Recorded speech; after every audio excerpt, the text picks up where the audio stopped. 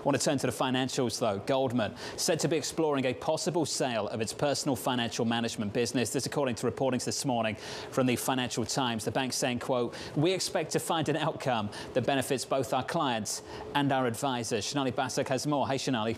John, it's the undoing of a big consumer strategy you're seeing over at Goldman Sachs. This is a business that was United Capital, a business Goldman Sachs acquired in 2019 for about $750 million. Now, remember, at that time, it had about $25 billion worth of assets. Now it has about 29 billion, so not a lot of growth there.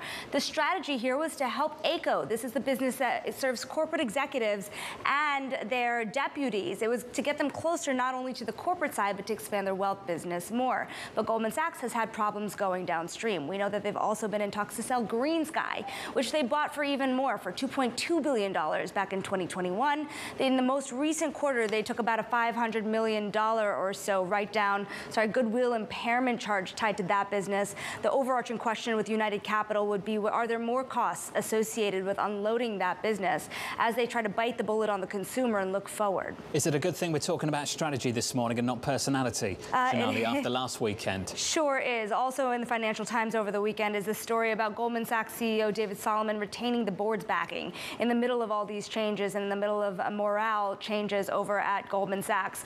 They see it as external noise. Now, the next quarter or so will be the most interesting to Is watch. Is that another way of just saying we blame the media? Nothing's to see here. There's always a moment to blame Something us, like isn't that. there, sure, John? Sure.